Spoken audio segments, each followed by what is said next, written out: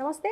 ప్రస్తుతం మనతో పాటు ప్రముఖ విశ్లేషకులు ఇమ్మంది రామారావు ఉన్నారు. ఆయనతో మాట్లాడదాం. నమస్తే సార్. నమస్తే సార్ ఒక ప్రచారం నడుస్తుంది బయట. ఏంటంటే ఇప్పుడు పవన్ కళ్యాణ్కి డిప్యూటీ సీఎం ఇస్తారు హోమ్ ఇస్తారు అని చెప్పేసి ఇది నడుస్తూ ఉంటే ఇంకో పక్క లోకేష్కి పవన్ కళ్యాణ్కి ఒక కోల్డ్ వార్ జరుగుతుంది. లోకేష్కి ఇష్టం లేదు పవన్ కళ్యాణ్కి డిప్యూటీ ఇవ్వడం అని చెప్పేసి ఒక ప్రచారం నడుస్తుంది.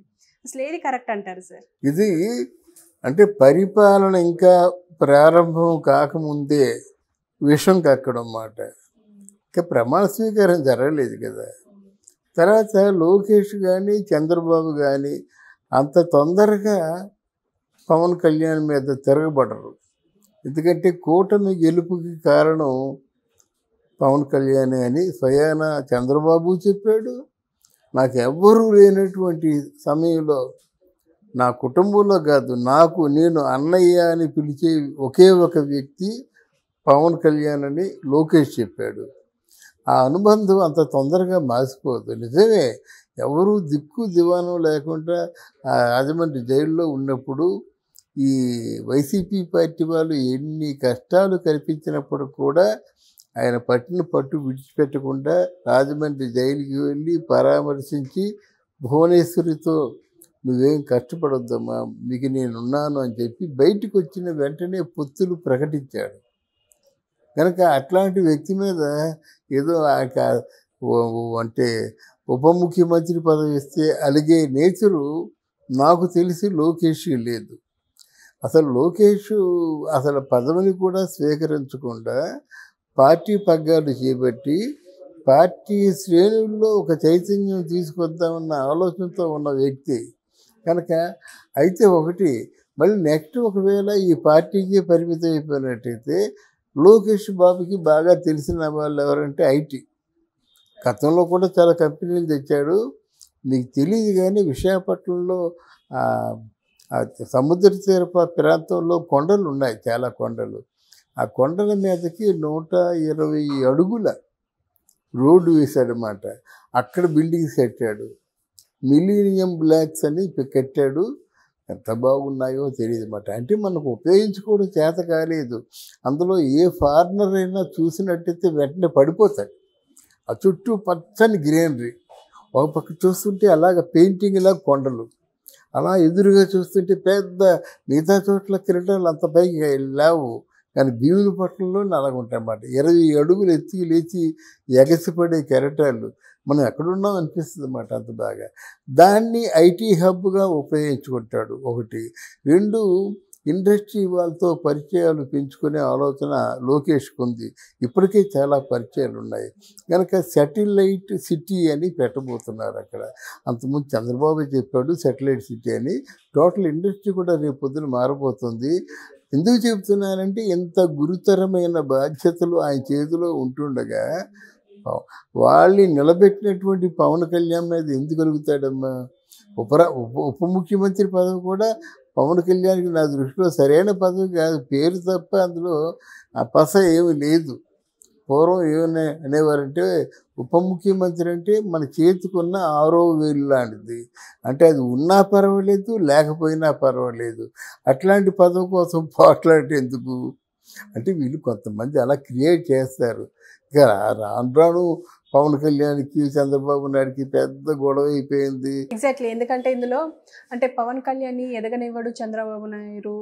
ఎందుకంటే లోకేష్ ఎదగాలి కాబట్టి అందుకే ఆయనని ఎదగనివ్వరు అని చెప్పేసి కూడా ఒక టాక్ నడుస్తుంది. నాకు నడుస్తుంది. అది నడిపిస్తారు. ఇప్పుడు సోషల్ మీడియా తాలూకు పని అదే కదా. అదే అంటాను ఇప్పుడు వాళ్ళు ది లూజ్ దర్ క్రెడిబిలిటీ మనం మాట చెప్పాం ఎప్పుడు చెప్తున్నాం మనం? ప్రజల తాలూకు గుండె చప్పుడు వినిపించడం కోసం ఇక్కడ మాట్లాడుతున్నాం. వాళ్ళ తాలూకు ఆలోచనలకి వాళ్ళ తాలూకు అర్థం చేసుకునేదానికి ఏమాత్రం డిఫరెంట్గా ఉన్నా మన మాటలు వినరు. చాలా మనం చెప్పావు కదా అంటారు. అంతే కదా?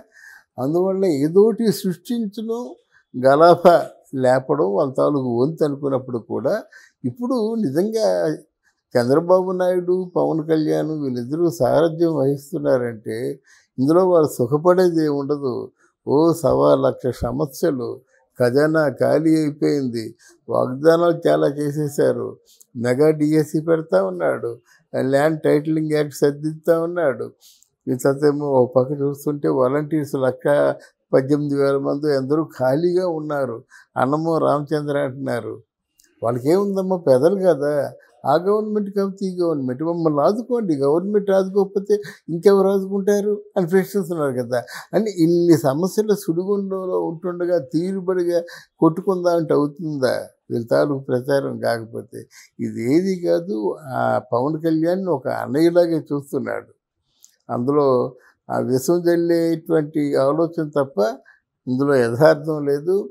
పవన్ కళ్యాణ్కి ఉప ముఖ్యమంత్రే కాకుండా ఒక ప్రముఖ శాఖ హోము కూడా ఇస్తారని ఒకటో రెండో శాఖలు అప్పచెప్పితే పవన్ కళ్యాణ్ ఉప ముఖ్యమంత్రి పదవి తీసుకొని వేస్ట్ అంటారనమాట కానీ ఇందులో మీరు అన్నట్టుగా హోమ్ ఇస్తే బాగుంటుంది అని అంటున్నారు ఇస్తారు అని కూడా స్టాక్ నడుస్తుంది. కానీ కొంతమంది విశ్లేషకుల మాట ఏంటంటే హోమ్ కానీ ఫైనాన్స్ కానీ ఆయన దగ్గరే అంటే చంద్రబాబు నాయుడే ఉంచుకుంటారు అని చెప్పేసి టాక్ నడుస్తుంది. అంటే ఎందుకంటే కేసులు ఉన్నాయి పైగా ఫైనాన్స్ కొంచెం చూడాలి కాబట్టి అని చెప్పి చంద్రబాబు నాయుడే ఉంచుకుంటారు అని చెప్పేసి ఒక మాట.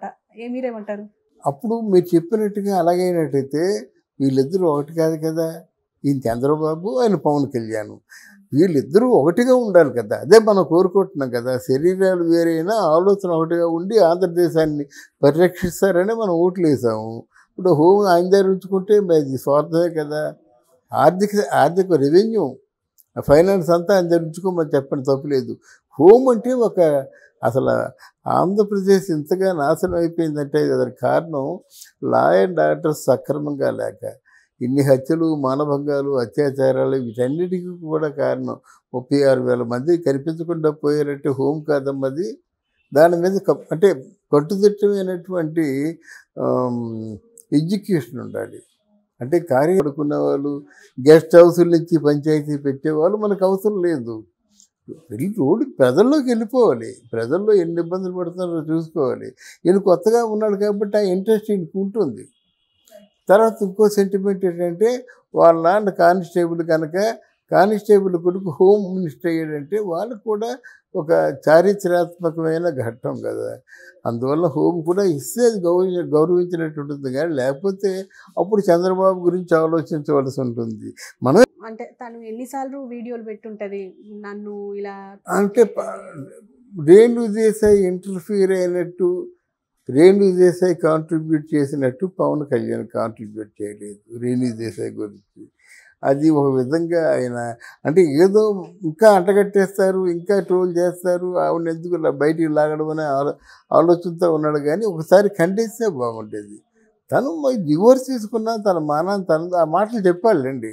తన మానాన్ని తన తన ఉంది తన్నెందుకు బయటికి అవుతారు అదే నా గురించి కానీ నా పెళ్ళిళ్ళ గురించి కానీ మాట్లాడితే చెప్పు తీసుకొడతా ఉన్నాడు ఆయన. ఖండించాడు.